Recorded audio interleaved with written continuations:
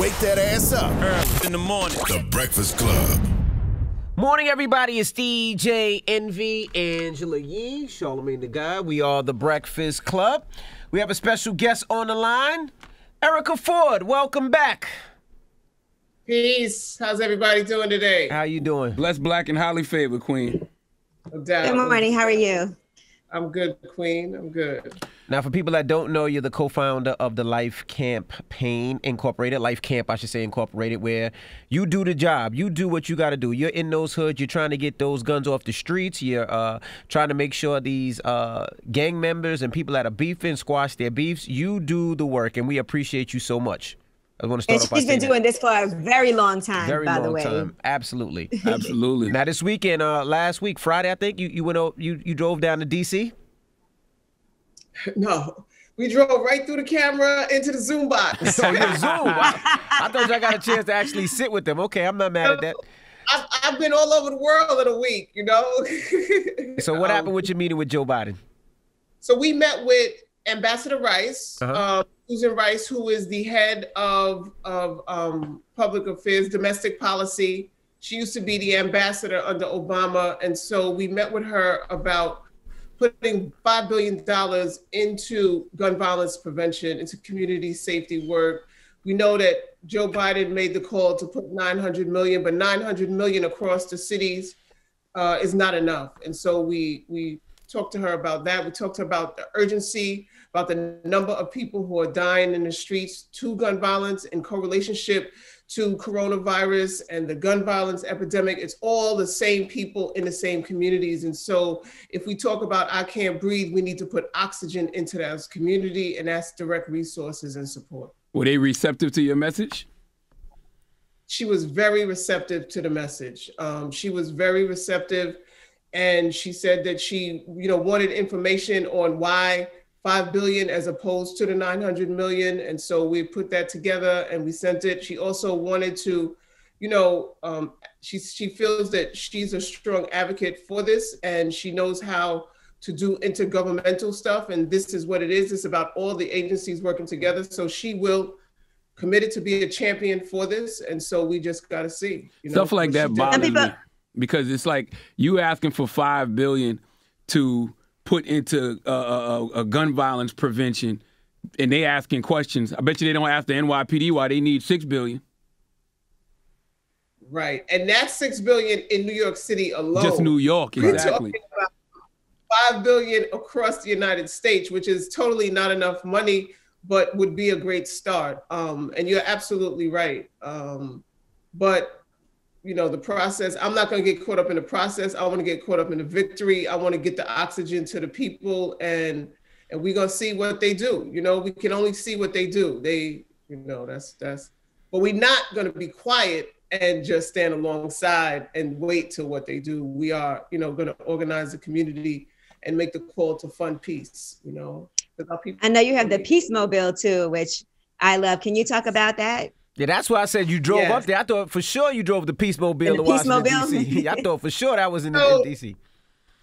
So, so she, she, one of her statements was, "I would love to come to New York and and connect with Erica and see the work, but coronavirus." So I said to her, my quick response, "I can drive the Peace Mobile to DC, and we can make it happen." And so the Peace Mobile is a 35 foot RV, and where we mobilize peace, we we take it to communities where incidents of violence happen. We give young people and families and communities the opportunity to come on and experience healing, whether it's going into the studio, putting paint on beats, whether it's punching the punching bag, whether it's sitting down and doing healing circles, or just learning how to eat more alkaline than acidic. You know, we definitely, along with a lot of other folks, have made healing and therapeutic services cool in the hood and that's what it's all about is, is, is choosing the opportunity to heal then pick up that gun and shoot somebody or commit an act of violence E- Erica, why, what, what what doesn't Joe Biden get in regards to defunding the police?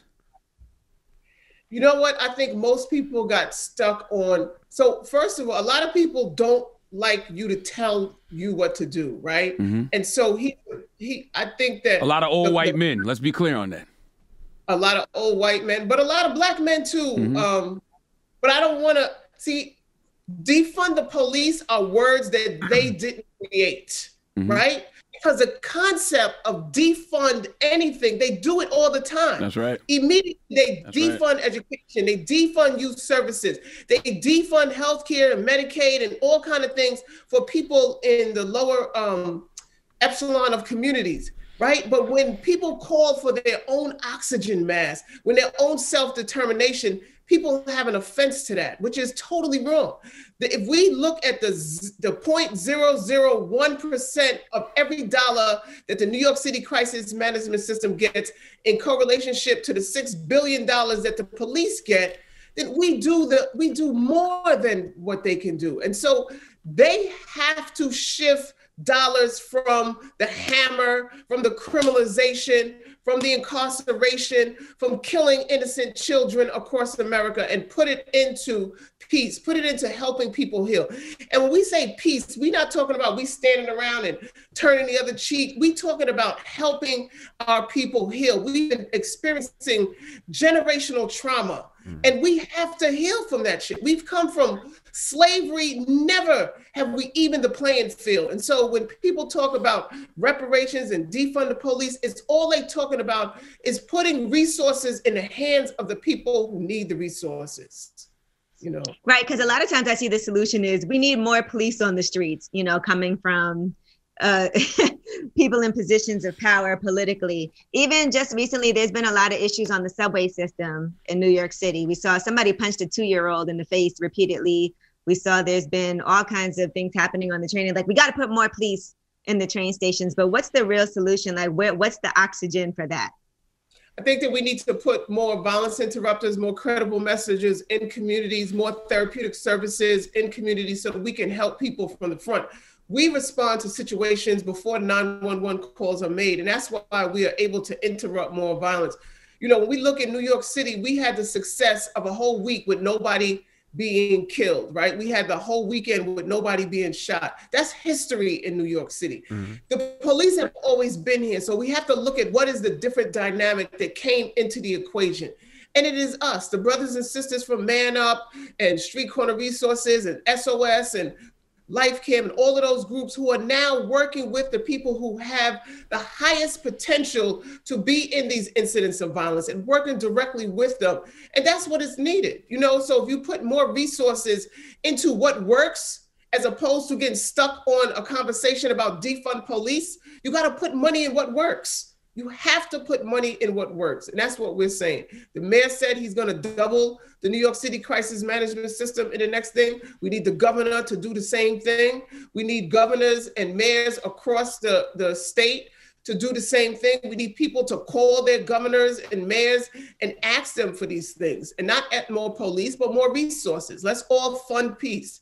So, you know, we're making a campaign telling people to text fund peace to 51555, fund peace, and, and join the movement. And let's make this a reality across the nation. Now, in your opinion, how would you say that we get more of these guns off the streets? You know, because it has to be from the root, of course. So, what would you do to make sure we get more of these guns off the street and out of the hands of some of these young young kids? um, white supremacists are bringing guns across America, you know, and so w- that is a federal thing that they have to stop on a federal level. In our hood, we have to stop people from wanting to pick a gun up.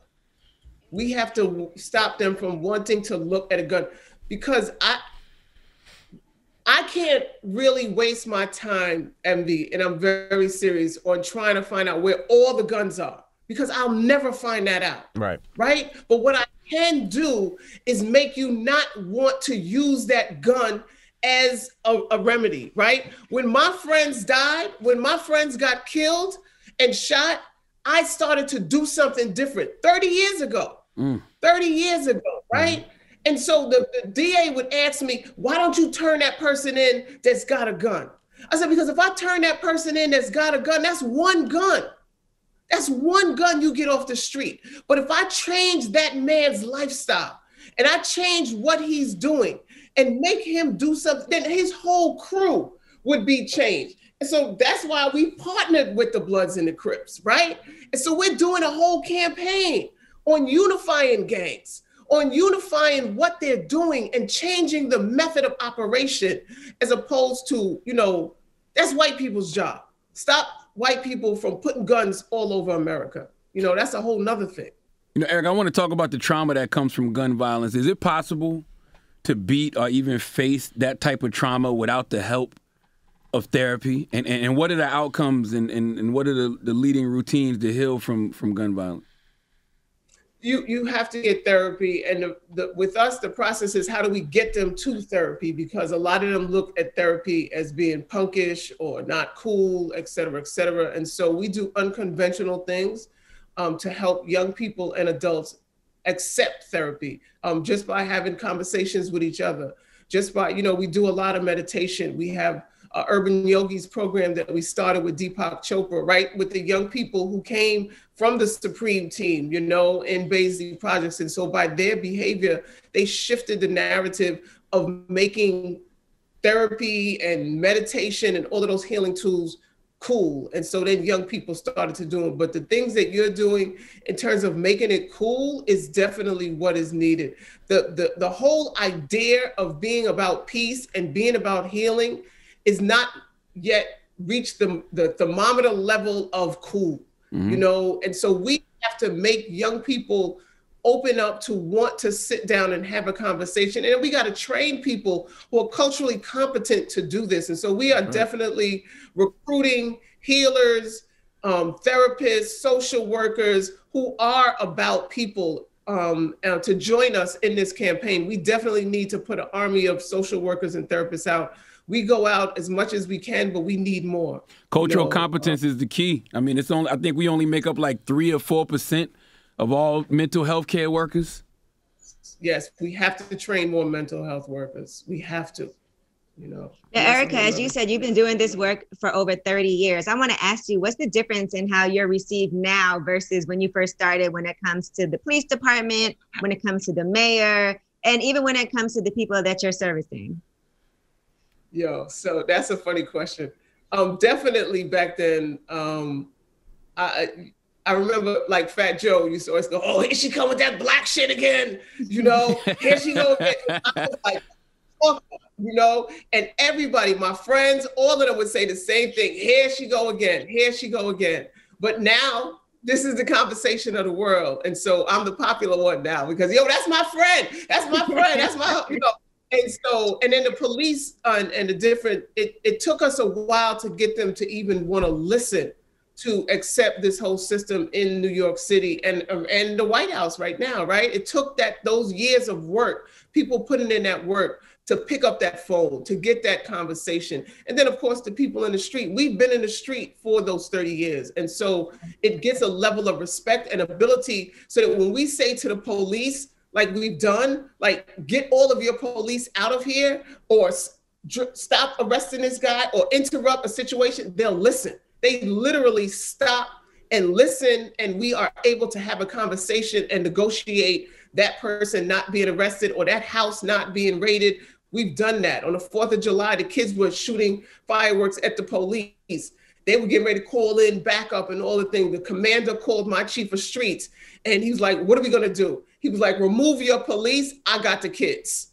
And so they removed all of the police. The police didn't want to leave, but they had to because they got that directive. And we were able to intervene on people getting arrested, people getting shot. And all over New York City, the, the shootings was up that weekend. In our area, there was no shootings, right? And wow. so we were able to, to, to negotiate on a different level because of the years of, of respect that we have. You know, I think that's important because there are a lot of people who are now like, okay, this is a great time for us to get funding for this or starting this program, but you have been doing this for so long. So there's a level of trust that people from both sides have with you because of the consistency that you had. And you've been at it since before it was popular. Correct. Correct. You couldn't even say Black Power. That whole Black Life, you couldn't say those things. You were ostracized, blackballed, you know, except I've been blackballed definitely, you know. Um, and so the consistency drives success as well, you know. Um, and it's hard work because a lot of times what you do is not sexy. So you don't get the funding, you don't get the, you know, the different accolades and to be in different spotlights and stuff. to and you have to be there because you have to raise the, the, the knowledge of what you're doing and the work so that people can support it and people can come to it because a lot of young people are looking for a way out and we have to let them know that there is a way out you know Absolutely. there is How do people donate to the Life Camp Incorporated, Erica? lifecampinc.com they could go to lifecampinc.com and and donate to Life Camp. Life Camp on all social media platforms Life Camp cash app Life Camp venmo lifecamp um, everything All right. Well, Erica, we appreciate you for joining us. And, you know, anything that you're doing, anytime you're doing anything, please let us know. Keep us abreast of what you're Definitely. doing. Thank All you right. very much, Thank you. Queen. Erica Peace. Ford is the Breakfast Club. Good morning. you.